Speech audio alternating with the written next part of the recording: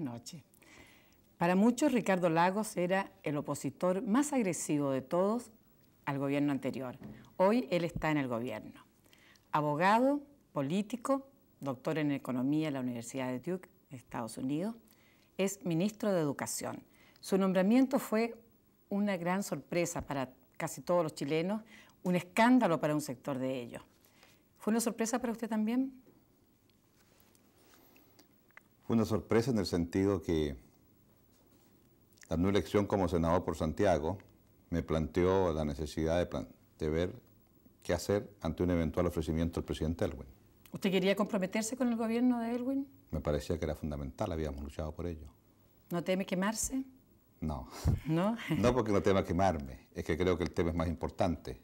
¿Piensa estar los cuatro años de gobierno en, en educación?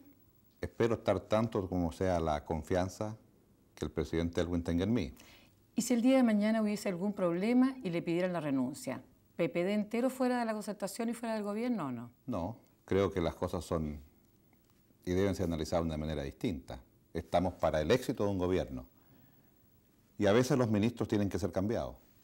O sea, ¿usted aceptaría una petición de renuncia sin partir con todo su partido detrás? Depende de las condiciones en las cuales se produzca la petición de renuncia. bueno, a propósito de, condiciones y de este carácter tan asertivo que tiene el ministro de, Educación, Ricardo Lago, leí el otro día en la revista APSI un reportaje sobre los que manejan el poder, se llamaba. Y ahí decía, hablaba de los distintos ministros y de su importancia dentro del gabinete, y decía de Ricardo Lagos, por su peso específico, por su peso político, es el único que discute con Elwin de política desde pedestales equivalentes. ¿Es verdad eso? ¿Discute con el presidente Elwin de igual a igual? Creo que lo correcto de un ministro es conversar con el presidente de una manera muy franca, porque uno es un colaborador de los presidentes de la República. Pero algunos dicen que usted como que lo extorsiona un poco, ¿es verdad eso, no? No, jamás. y si fuera verdad, creo, y creo, y creo además que el país eh, ha percibido si no lo conocía de antes, a un presidente de la República con un claro don de mando. No aceptaría de ninguno de sus colaboradores, creo yo, eh, una cosa de esa naturaleza. ¿El PPD es el nombre de chapa del Partido Socialista? No, el partido es el Partido por la Democracia. Y en cierto modo se llamó así de una entrevista que en los orígenes una periodista llamada Raquel Correa hizo y tituló Un partido por la democracia. Vaya. ¿Usted fue 100% partidario de la reunificación socialista? ¿O tuvo algunas reservas por el hecho de que usted lideraba el, Partido por la Democracia? No, en absoluto. Creo que el tema fundamental era que la unidad socialista se hiciera sobre ciertos principios, ciertos lineamientos. Cuando llegó Clodomiro Almeida a Chile, fue primero encarcelado y después relegado a Chile Chico. Creo que fui el, uno de los primeros del mundo socialista en el cual nosotros actuábamos que dirigía en ese momento Ricardo Núñez, que me trasladé a Chile Chico a conversar de estos temas con Almeida. Fue partidario usted de la reunificación, absolutamente. ¿Y usted milita en los dos? Mi compromiso o sea, con ¿tiene un doble militancia? Se le pregunta. No, mi compromiso es con un proyecto, el proyecto que existe un espacio para los cambios en democracia, con pluralidad. Y el Partido Socialista es un partido que tiene 57 años de historia, una raigambre ideológica importante. ¿Y el PPD lo creó usted para una coyuntura y parece que le quedó gustando y lo está posponiendo, prolongando? En absoluto. El Partido por la Democracia se creó como un instrumento para restablecer la democracia y consolidarla. ¿Usted considera que ya no está cumplida la misión aún? No, creo que el partido se ha señalado una finalidad de tipo programática muy clara. Lo que le pregunto, en cierto modo, directamente es si usted cree que aún no se ha logrado la democracia en Chile plenamente. Creo que no. Creo que hay un conjunto muy grande de elementos que están allí, latentes.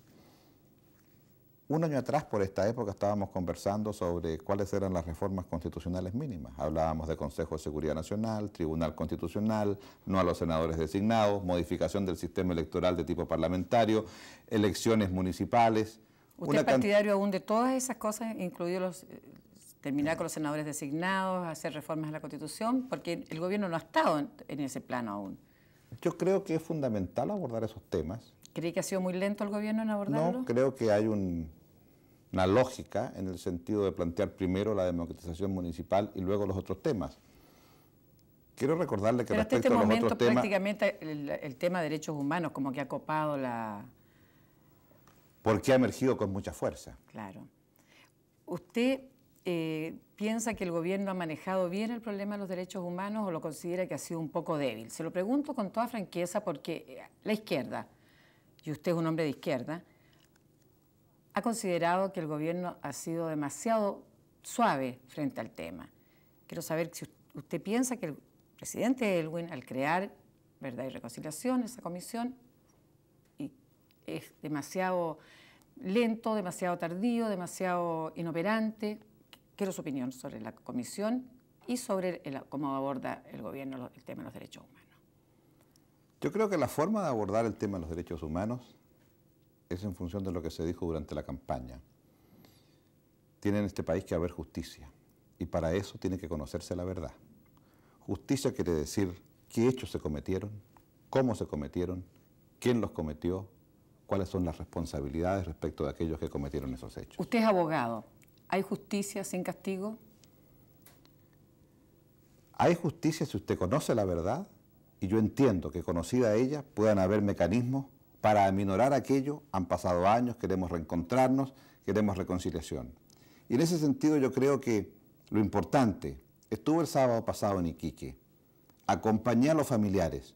Para ellos era el entierro que no tuvieron sus muertos. No hubo un grito.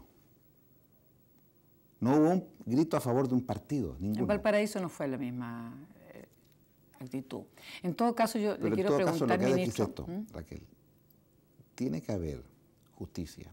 Y lo que se ha buscado con la Comisión Verdad y Reconciliación es cómo se apunta en esa dirección, cómo avanzamos en ese camino. Pero puede haber justicia respetándose la amnistía o usted es partidario de que se termine la amnistía? Porque usted antes era partidario, o sea, en su campaña senatorial y en todas sus declaraciones previas usted fue contrario a la ley de amnistía. ¿Ahora estaría por respetarla?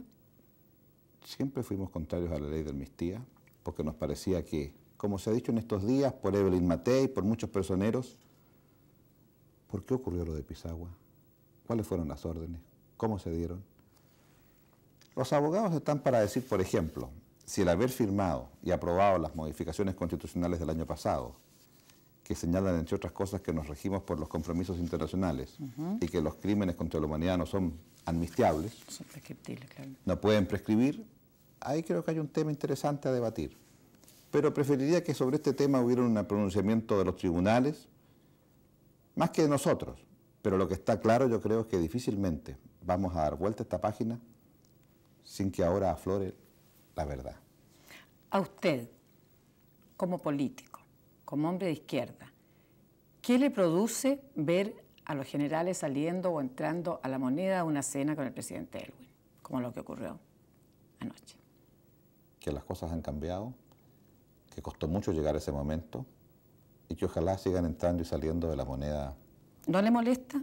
No, ¿por qué me va a molestar? Si usted lo hubieran invitado a esa comida, ¿habría ido? habría conversado las circunstancias con el presidente de la República, pero creo que no hay ninguna razón, soy un ministro de Estado, para no hacerlo.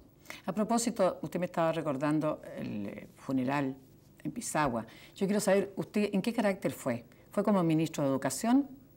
¿Fue por su cuenta? Porque eh, la verdad es que como ministro de Educación no le correspondía. Yo a veces pienso que si usted hubiera sido ministro de Obras Públicas o de cualquier otra cartera, tal vez habría ido igual, ¿sí o no?